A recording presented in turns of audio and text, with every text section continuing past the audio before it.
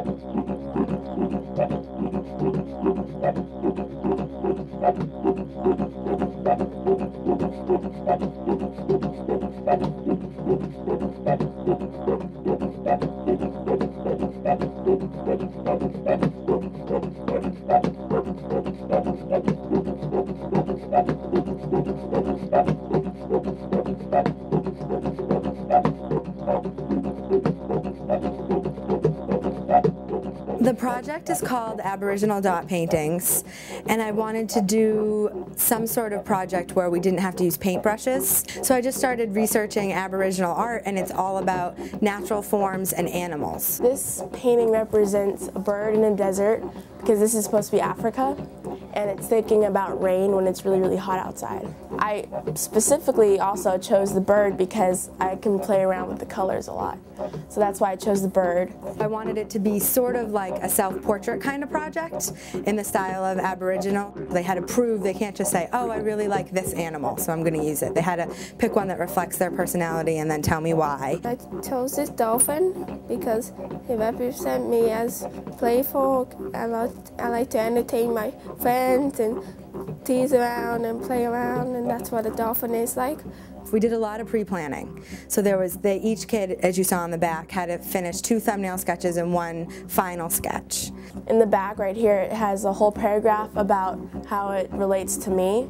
For instance, like its long beak for when it catches its prey, then it's like it, it hunts for what it wants, so it's like I earn what I want. My favorites were like Bethany's, the ones that she did every kind of dot. She did the little dots, the uh, big dots, she even did the, um, if you use like the top of a marker, so it's just a circle, she even had those in it. So I think they started discovering smaller dots were better detail, but using the variety, all of the different dowels I got made the project the most successful.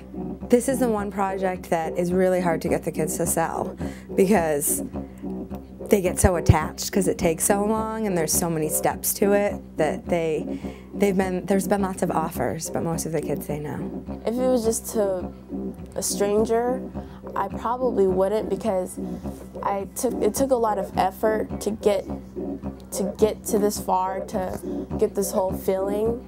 Like i really liked it and i, I really treasure it but it has to be like a really good cost. Like um, I don't know. I don't know if I would sell it though. Maybe, but not really.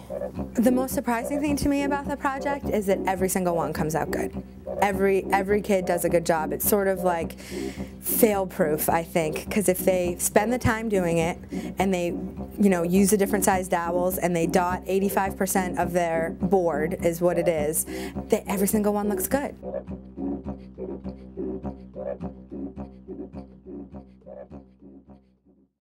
For more information, visit hightechhigh.org.